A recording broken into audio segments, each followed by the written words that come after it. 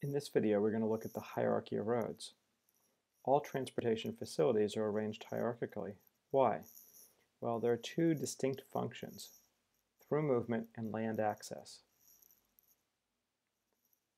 This allows us to aggregate traffic to achieve economies of scale in construction operation. It allows us to have higher speeds, it reduces the number of traffic conflicts, and it maintains the quiet character of residential neighbors neighborhoods by keeping through traffic away from homes.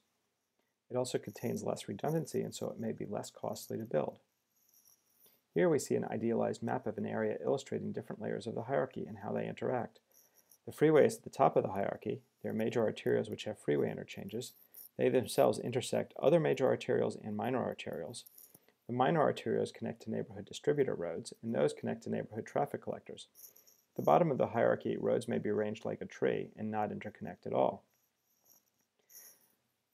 So we can see this as a trade-off between movement and access. On the x-axis we have speed, slow speed to fast speed, and on the y-axis we have flow, low flow to high flow.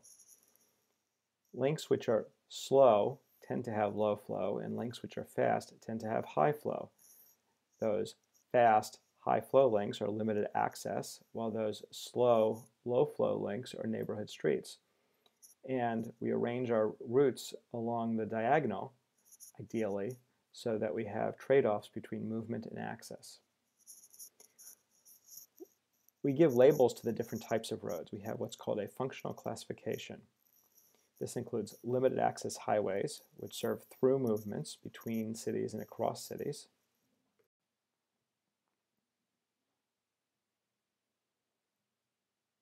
We can see a map of the limited access system in the Twin Cities region shown here, where the colors indicate the level of congestion on each of these routes. The next level of the hierarchy are linking routes.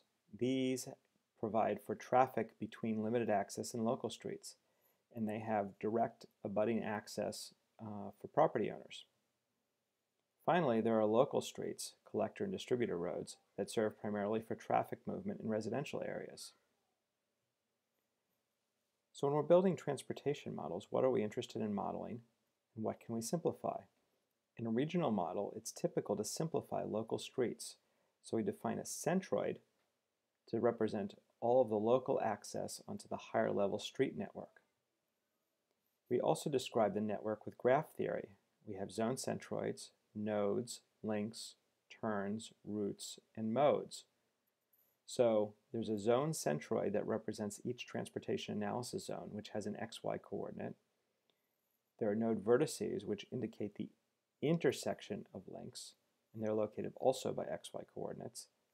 There are links, which are identified by the from node and the to node. There are turns, which are identified by a sequence of three nodes. There are routes, which are a sequence of multiple nodes, for instance, a bus route. And there are modes, which indicate which types of technology are allowed on each individual link.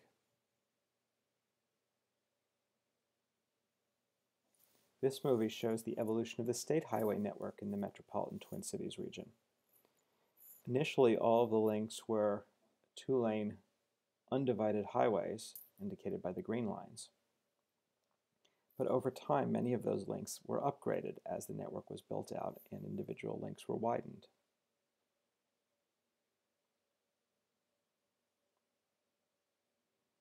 You can see the red lines indicating the emergence of divided highways.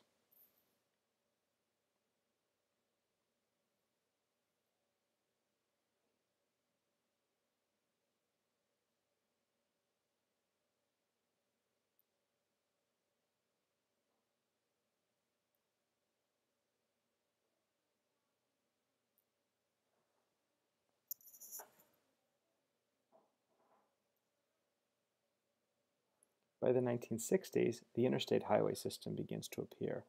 And those are not only divided, they're also limited access, meaning that they have no driveways on them. They only have access from interchanges. This is completed through the 1970s and 80s, and by the 1990s, the backbone of the network is essentially complete.